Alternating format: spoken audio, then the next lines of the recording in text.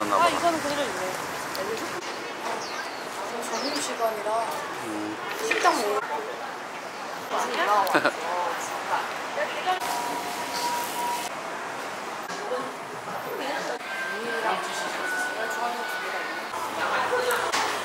오, 그게 찐이네.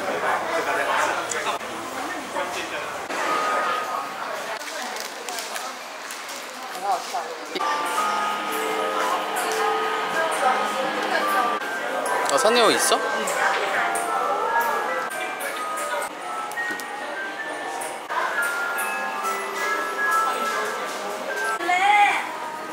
너무 귀엽다. 너무너무 귀여워.